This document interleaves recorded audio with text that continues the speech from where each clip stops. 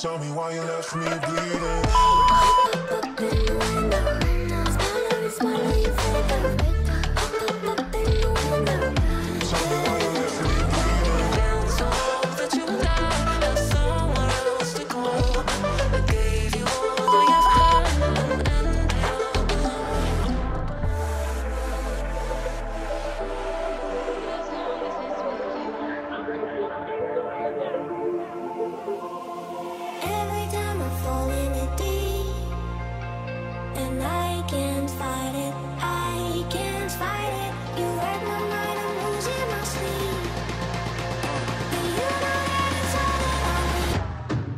close your eyes.